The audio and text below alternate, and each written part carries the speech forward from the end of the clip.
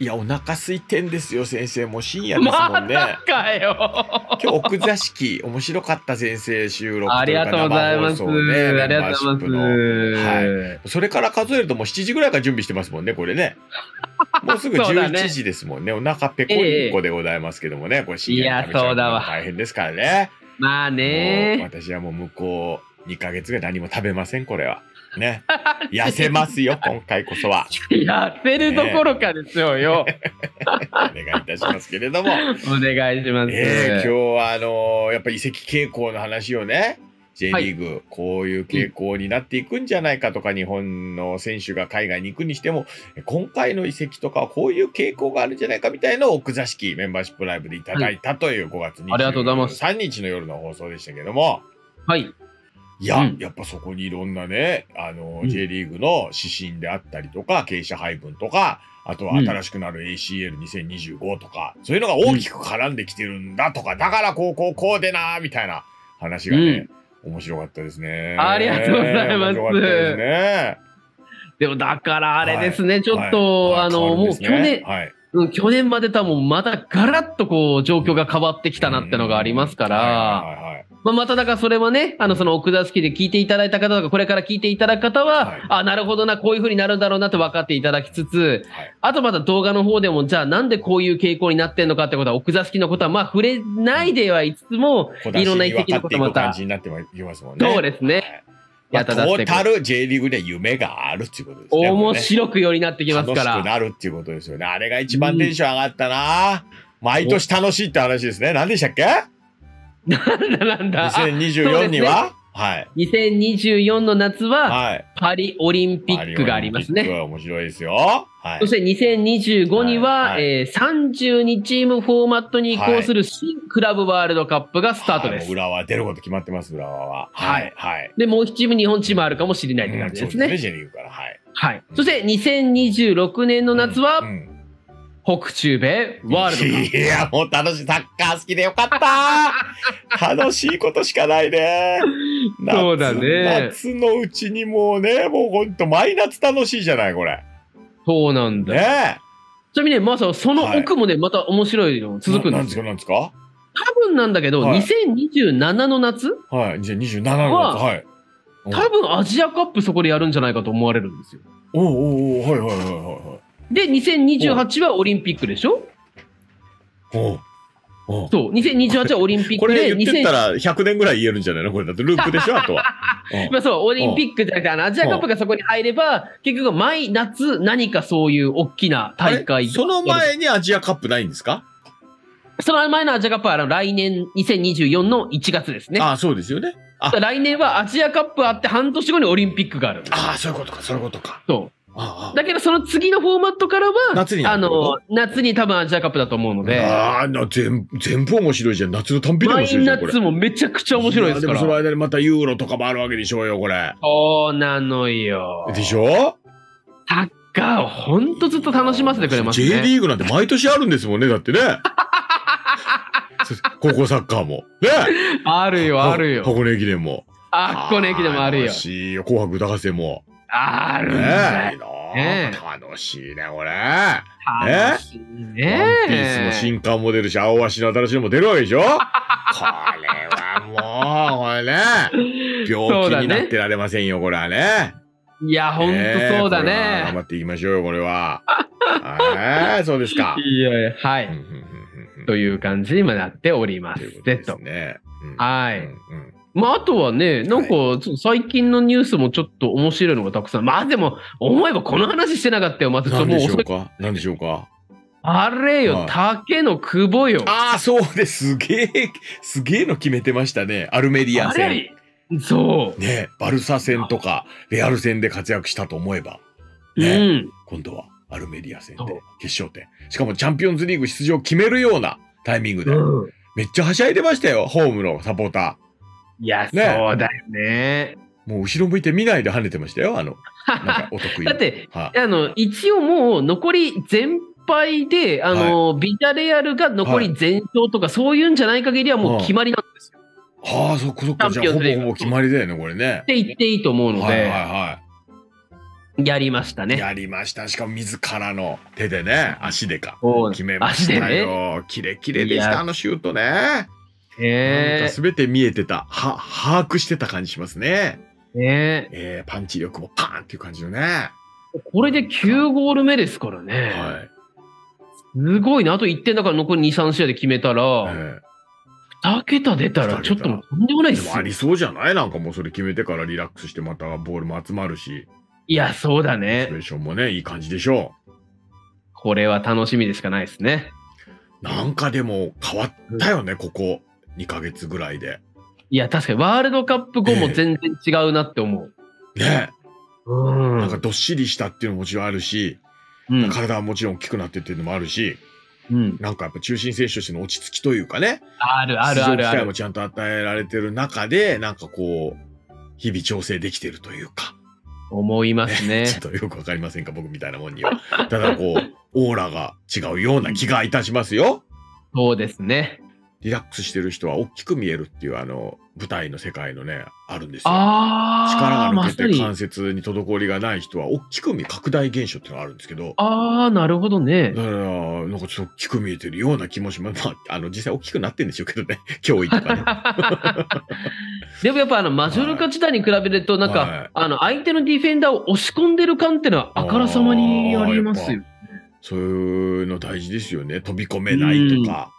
あるね。ね、これゴールキーパーとかもすげえ大事だって言いますもんね。こ言わう、佇まいみい。たいなね。うん。立ってちょっと動いてるだけで相手を威嚇できる感じっていうかね。うんだからなんかちょっとそういう一つ上の次元にはもう到達した感じもありますかそうですら。もんね。しかもあ、ああいうのさ、今の三笘くんとか、あと、まあ、鎌田選手もそうだし、はいあとちょっと前だとやっぱ中田秀さん、本田さんとかもいるけど、はいはいそれってみんな彼ら20代中盤から後半にかけてじゃないですか、どっちかっていうと。んんうですしてたのね。そうですね。20代前半でもうそこでしょ？まあ領域的にそう。ですね。確かに。ちょっとやっぱり、歴代最強プレイヤーの一人はやっぱ彼なんじゃないかって。まあ、本人もそうならないと話にならないっていうインタビューでおっしゃってましたよ。いやえーワウワウのスペシャルで言ってましたよ。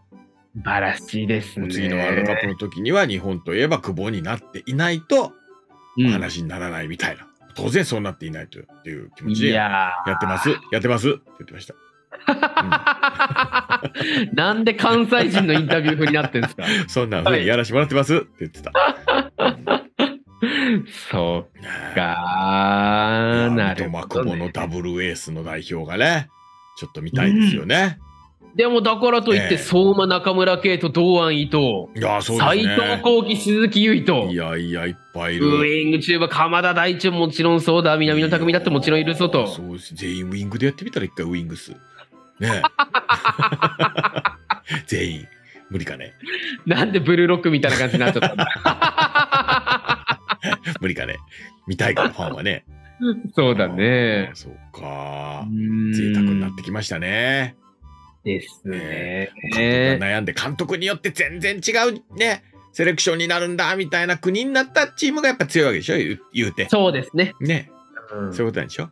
そういうことですよ。スペインとかドイツなんかそういうとこあるんでしょ、やっぱりね。まあそうだねう。んうんうんまあ、誰が選んだってた、まあ10人ぐらいはだいたい一緒だと思いますけど、12、11人は。うんうんとはいえ監督の傾向によって半分ぐらい変わるんですよ。ああ、そうですか。ねなるほど。うん。はいそういうチームがいいですね。個性が出るようなね。そうだね。あれどうなったんですか？あの欧州、欧州日本代表と J リーグ日本代表ができる話。まだですよ、まだまだ早。く見たいんですけど。あの、どうやったって来年からなんで、そう。どうやったその話は進んでるん今なんかでも今年のどっかで交渉なんでってるだけですからね、別にね。日本あ協会が。うん、あの、え？まずあの、今年本当に交渉なんですよ。交渉？交渉らしいです。ああのーあれに出れるかどうか。そう、マジの交渉はあるんヨーロッパの。なんていそうそうそうそう。なんだっけ？あのーまあ、ウェファー側っていうんですか？なんていうの、そっち側ですよね、ヨーロッパ側の。ヨーロッパリーグじゃなくてなんだっけ？あー、ネーションズリーグね。ネーションズリーグに入れるかどうかってことでしょ？日本代表が。そうそうそうそ。そうれができたら、欧州組日本代表ができて、本当に誕生しました。で、別々に活動する可能性もあるってことでしょ？あります。うんこれあの、いいんですか？同時、同じ日に国際バッチリ日本代表っていうの2つ試合していいもんなんですか？これ FIFA に怒られたりしないですか？だもしかオリエンしたら、タルランドは怒られますよ、これ。あの、アメリカのミッキーが稼働してる時に、日本で東京でミッキー稼働しちゃダメっていうの一応あるらしいですよ。ねだからもしかしたら、その、ウェファとかの、との交渉じゃなくて、その FIFA とのそういう交渉もあるんでしょう FIFA ね。のルールでどうなんですか？それ別にダメだから、うんだもしかダメなんだったら交渉だし、いいんだったらこういう感じでやりますからよろしくお願いしますね、みたいなことなんでしょうし。別にダメなことないよね、別に。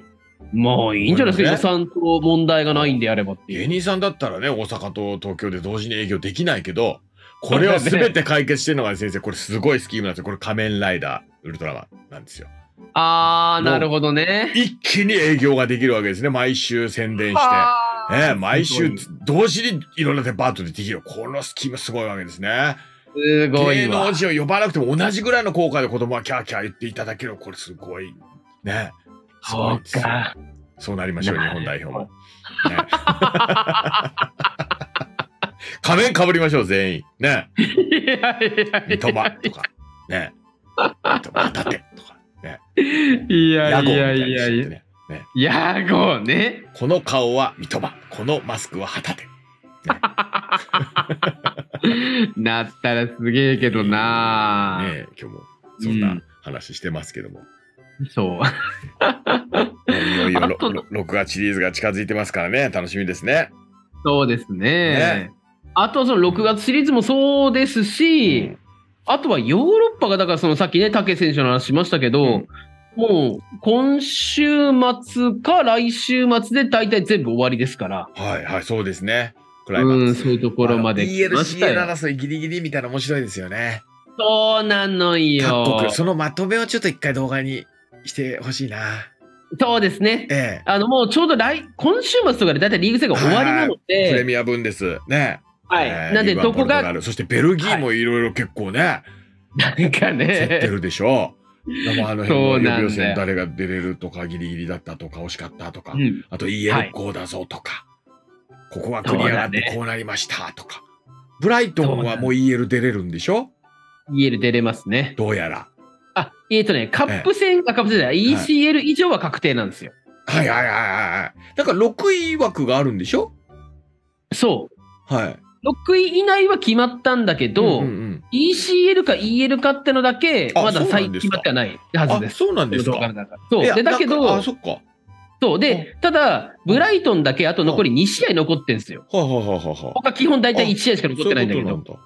そう。で、勝ち点1でも積み上げれば EL 決定です。いやー、面白い。これもじゃあ決定でいいですね、もうね。はい。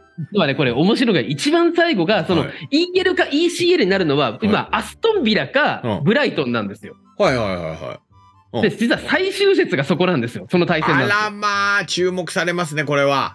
で、ミッドウィークに、はい確かマンチェスターシティ、だからこれ実は収録してるのが我々24日なんですけど、はいはいはいはあの、この収録してる日の夜い。にう、ん。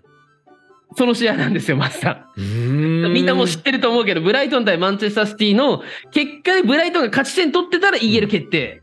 あ、シティなんだ、相手ね。でシティに負けたら最後のアストンビラ戦で勝てば引き分ければ、ああ、いいえそういうことか。負けたらは ECL。あ、はあはあはあ、でもシティは今ね、調整中みたいなもんでしょ、この間。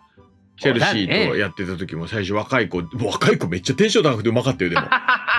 左のウィングの子とかよくわかんないけど、めちゃめちゃうまいやー最終的にね、調整であの、みんな出てきて、レギュラーメンバー。ね出てきたね。は あ恐ろしいなと思いながら。あんな感じでしょ？いや、そういうことですあよ。ーそうか。だから6月10日のチャンピオンズリーグ決勝に向けてってことになると思いますこれはけどね。多少の賄賂もあっていいんじゃないですか？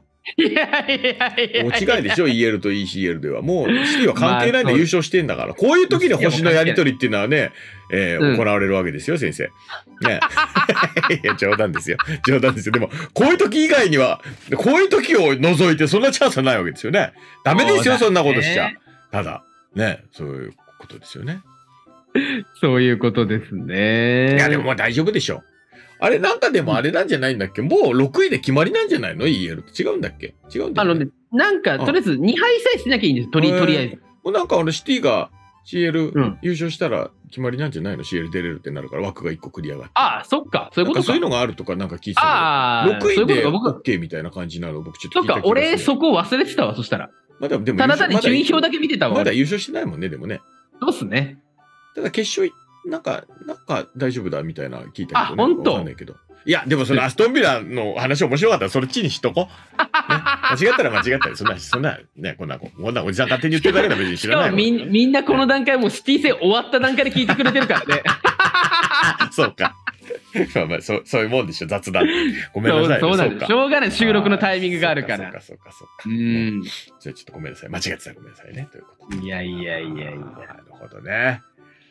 そうなのよねい。や、ヨーロッパもちょっと楽しみですね。またね。ですね。うんなんでまずあの皆さんにもこれ先にちょっと予告しておきますけど、はいあの今年これやっぱりめちゃくちゃ日本人大活躍、てか歴代絶対ナンバーワンじゃないですか。うんうん活躍度で言ったら。そうですね。はい。でもなんならもう一人一人で動画出したっていいぐらいに、ちょっとあのあ個人成績をちょっとつけますから。ああ、それいいですね。うん。今シーズなちょっとン戦績を振り返るみたいなね。そう。ちょっとそれ動画作ろうと思いますので、皆さんお待ちいただければと思います。わかりました。はーい。募集組、もう100人ぐらいいるっていうか、100個ぐらい出してください、先